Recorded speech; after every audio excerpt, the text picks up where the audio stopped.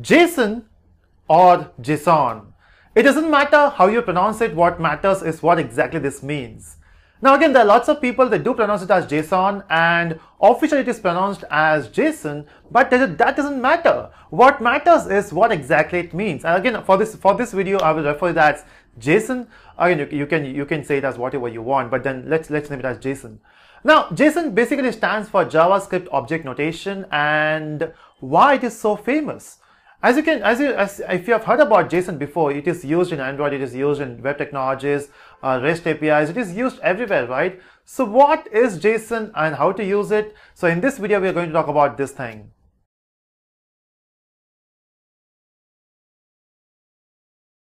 Welcome back aliens, I'm Navin Reddy from Telusko Learnings and let's get started. So as we have defined, JSON simply means JavaScript object notation. So when you talk about when you talk about JSON, the full form is so it simply says JavaScript object notation, right? So uh, what happened, you know, when you talk about JSON, it is simply a format in which you can transfer data from client to server and from server to client. See, in the initial days of web development, we used to work with HTML, right? HTML is like the, the what is a de facto design pattern. So everywhere we use HTML to design websites and we don't have any, any other choice. Uh, then we use CSS, then we use JavaScript.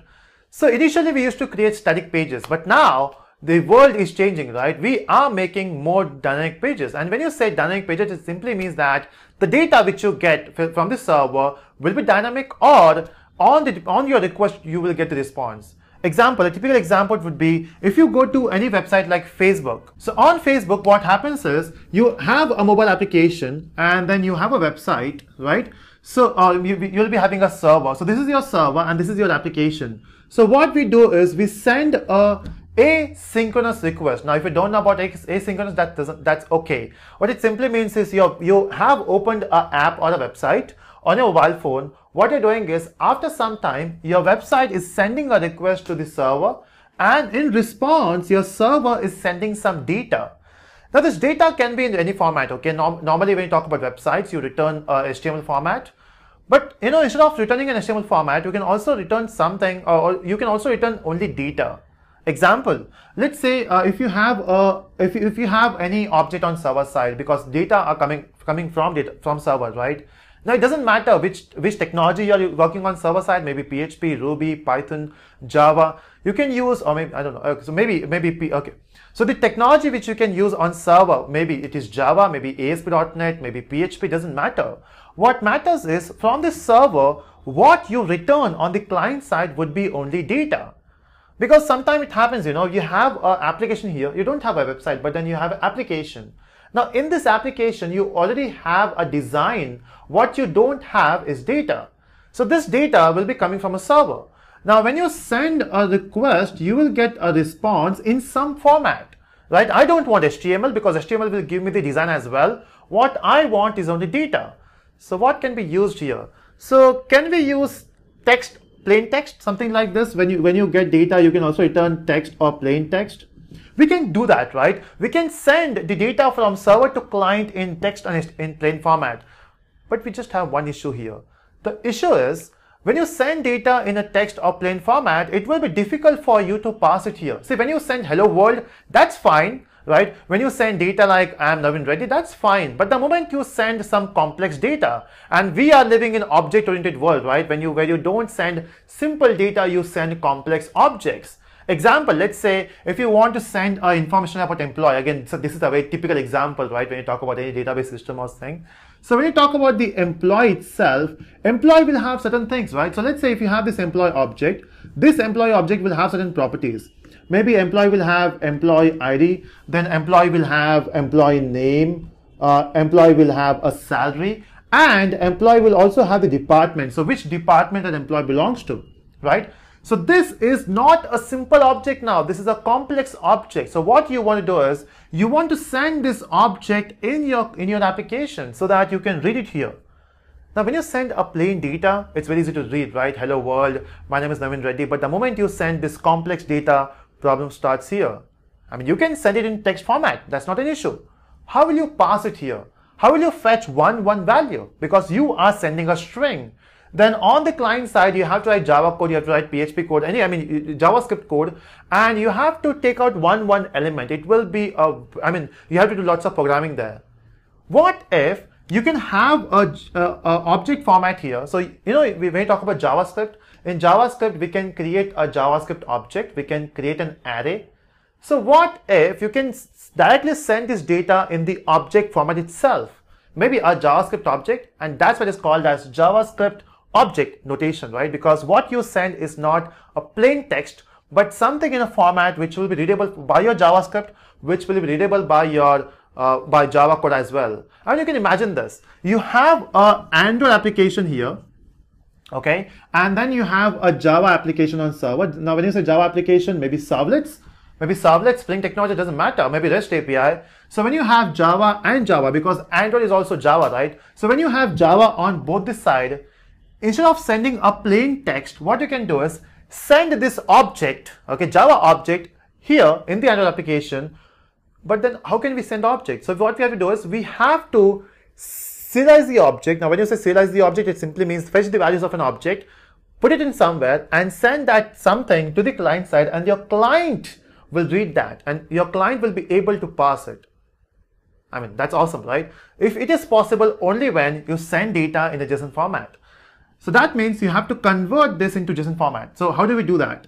So let's say instead of saying employee ID, let, let, let's refer this as EID. So let's say the EID is 1, then your name is something you can say Naveen, and then your salary is let's say 6000 and department is education right so we have all this value so we have eid1 ename naveen and salary 6000 department is education you will send this information on the client side in some format and that will be JSON. Now let's represent JSON here. So we'll write JSON. So we'll say EID equal to in double quotes one, that's my EID. Then give a comma. So you have to open a curly bracket, close bracket. You have to give a comma. Then you have to say e name equal to in double quotes you have to say Naveen. And then again, comma is important there, right? And then you will say salary equal to in double quotes 6000. Then a comma and then you have to say department is equal to, oh, it's not equal to, it's colon. How can I forget that? We have to make sure that we put a colon there. Okay, that's a correction. And then we have to say education. So that will be education here. Right? So we have EID colon 1, EID colon Naveen, and then list goes on. Now this data you are sending on server, you're sending on client side, right? So on client side, you can read this data. Now if you're using JavaScript, it's very easy. If you name this object as employee, let's say if you create a variable in JavaScript, when you say var emp, when you open the curly brackets and if you have this data, so this data will be coming from server, it will be assigned to emp. Now what you can do is you can simply say emp.ename, emp.salary, this will work. Now you might be thinking, okay, working with JavaScript with JSON is easy.